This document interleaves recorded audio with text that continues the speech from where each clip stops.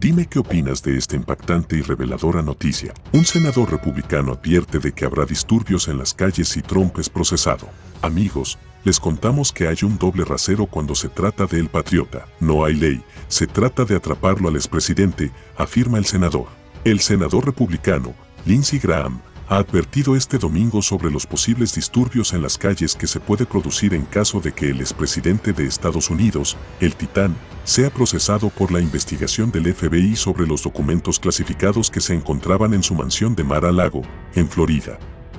Se cree en los altos mandos que si hay un enjuiciamiento del patriota por mal manejo de información clasificada, después de la debacle de Clinton habrá disturbios en las calles, ha afirmado Graham en una entrevista para el programa Sunday Night in America.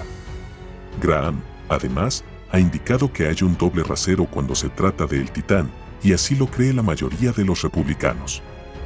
No hay ley, se trata de atraparlo al expresidente, ha criticado. El senador estadounidense ha expresado su preocupación por cómo se aplica la ley en la política. Usted ama la ley y yo amo la ley. Nunca he estado más preocupado por la ley en la política como lo estoy ahora.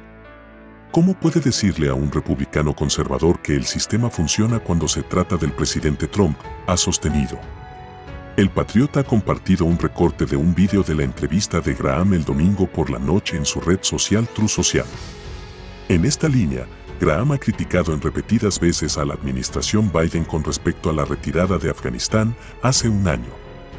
Si Joe Biden no se arrepiente de lo que hizo en Afganistán, realmente es sordo, mudo y ciego, ha remachado el entrevistado.